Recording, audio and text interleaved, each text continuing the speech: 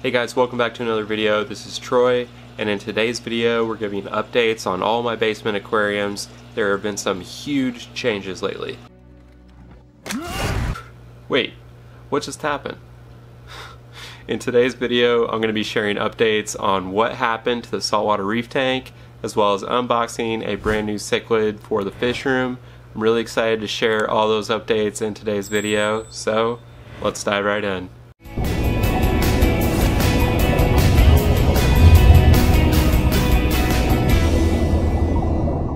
Okay, so here's my 180 gallon South American cichlid tank. This tank has been running for about a year and a half, although I've had most of these fish here for over three years now. The tank has three severums, a variety of geophagus, and has been doing really well with all these fish nearing their adult size, outside of the Oscar, which has a few more inches still to go. The Oscar is definitely the tank boss, but has been getting along with everyone for the most part. A lot of people ask me how I maintain this tank and keep my water looking crystal clear, and it's pretty simple. All I do is weekly water changes of about 40%. I use the Sicce Ultra Zero pump to drain the tank quick and efficiently, and while I'm doing that, I also scrub down the acrylic with the shower scrubber. A lot of people have asked me about this, so I'll leave a link down in the description if you need it. And then as the tank fills up, I add in my dechlorinator, which is Seachem Prime. Very simple process and that keeps my tank looking extra clear. So looking a little bit closer at a few of these different cichlids, starting with my severums, I currently have three severums here, a turquoise, a red shoulder, and a red spot gold severum. Severums are one of my favorite all-time fish. I love these guys. They are pretty big, but they're not too aggressive.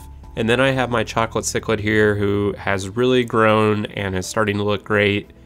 All these fish are pretty big now. This chocolate cichlid is probably 8 to 9 inches. That kind of gives you a sense of kind of how big the rest of these fish are.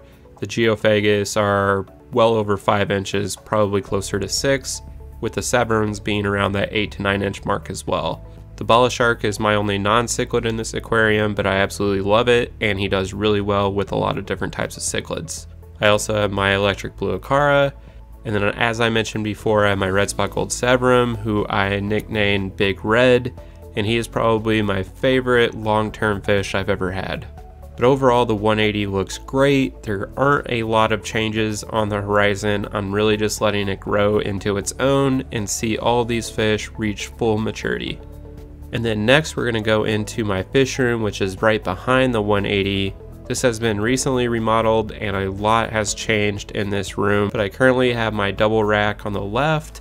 I have my 75 gallon cichlid tank on the wall with my quarantine tank right below it. The tank we recently set up in the video we published last week was this 40 breeder here on the double rack. These are Gymnogeophagus terra purpura. They are cold water cichlids and I cannot wait to see them grow over time. They're still really small, but they're already sifting through the sand, and as you can see, keeping it spotless. I love just watching that behavior, and this is going to be one of my favorite tanks to watch over time. But the new fish we're going to be unboxing in this video is going into my 75 gallon aquarium, and let's get to that now. Okay, I got my shipment in from Global Fish Co. Let's check out what I got. Got Rambo.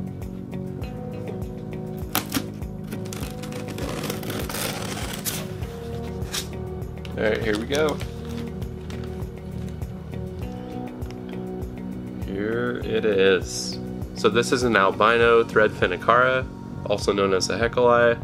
Being albino, he has that awesome pop of white color that you don't really get in a cichlid tank, but he also gets some orange coloration that really makes him stand out. I'll probably get him into quarantine for a bit, and then towards the end of the video, we'll flash forward to show him into the tank with the rest of his new tank mates. Okay, so here's a 75 gallon a little bit later with the albino heckelii added to this tank. This guy is a stunner and has awesome coloration and is just going to get better over time. As I mentioned, most of these cichlids in the 75 gallon are going to go into a bigger tank soon, and I cannot wait to round out the stocking for that tank very soon.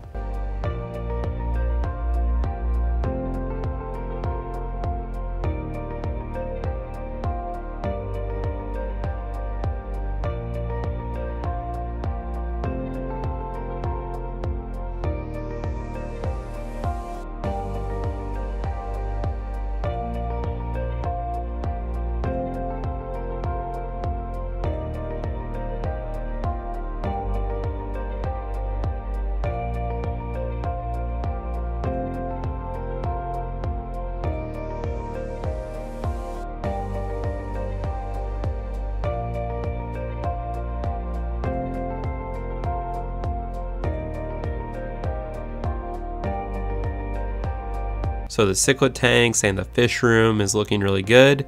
Now it's time to get the update on the saltwater tank. So this is the first saltwater aquarium that I ever set up and it's been running for about a year. One of the main things I wanted to do with this aquarium was to just start learning the saltwater side of the hobby and bring some of you on the channel along with me. So first off I just want to say that I really love this tank, the Fiji Cube aquarium, the full setup that I have here with the rocks and all the corals that are just starting to grow in. I really like the custom lid that I have with the evap cover with my logo custom engraved on it. All those things have made this tank really enjoyable to set up and keep over the past year. But my interests have started to change where I just have much more on the freshwater side of things that I want to do in the hobby there are a lot of different cichlids I want to try out keeping for the first time, a lot of different projects and breeding that I would like to do, and just start doing things more so for me than what I think would be good for the channel. Another main consideration with the saltwater tank is I have spent so much money on different equipment and corals for this tank and all of that could be worth it to some people if you are really into your saltwater tank and maybe it's your only aquarium and you don't have six other big freshwater tanks. So on top of just the money that I've been shoveling into this aquarium, it's also the time and maintenance. I currently spend the most time on this tank with maintenance, with creating salt water, with water changes, and all those things are different than my process in my freshwater tanks.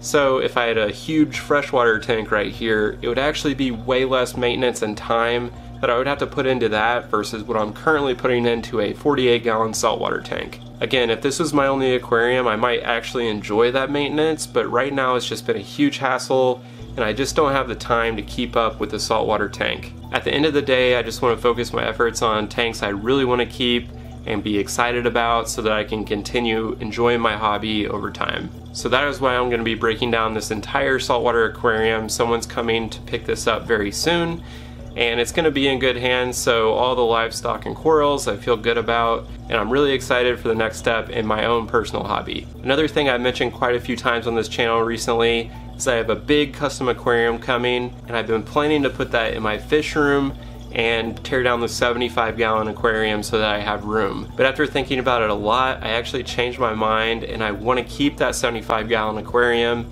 as a freshwater tank in my fish room. And so that means the big custom aquarium is going to be set up right here in the place of the saltwater tank so that it's right around the corner from the 180. I think it's going to be really cool to have those two freshwater aquariums set up right next to each other on the same corner. in the saltwater tank, although I'm sad to see it go, I'm really excited for bigger and better things in the freshwater side. And because a lot of the fish from the 75 gallon aquarium have been planned to go into this upgraded custom aquarium, that means we're going to have a 75 gallon freshwater tank to restock and reset up. Again, I am very excited for the custom aquarium to come. It should be here in just a couple weeks and it's going to be set up right here and I can't wait to make a video on it so watch out for that coming very soon. Hopefully by the end of the next video I'll have a tank set up right over my shoulder so I don't have an empty spot right behind me on camera. Really looking forward to showing that on the channel. Thanks again for watching and we'll see you next week.